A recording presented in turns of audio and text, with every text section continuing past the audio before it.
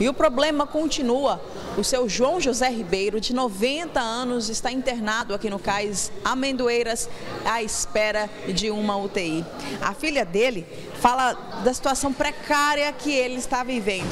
É complicado chegar e ver ele naquela situação. É muito complicado e muito constrangedor e muito triste.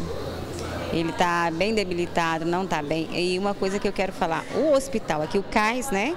É, tá, ele está sendo muito bem atendido, o pessoal está sempre em cima, medicado, mas o que ele necessita realmente eles fazem, aqui eles podem fazer, mas o que ele precisa, eles não, a, a saúde não, não concede. O que ele realmente necessita é de uma vaga para o hospital, para ele poder ser, fazer todos os exames que assim for preciso. Qual que é o problema que ele tem no pulmão? Ele tem um, o médico falou que é uma massa pulmonar. Que isso está acarretando tudo com ele? Tá. O que, que ele está sentindo?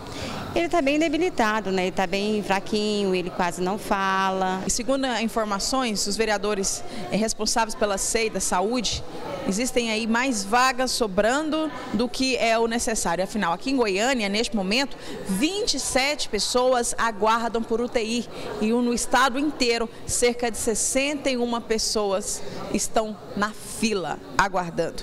Seria um número bem maior de vagas para essas pessoas. As pessoas seriam poucas mediante a quantidade de vagas.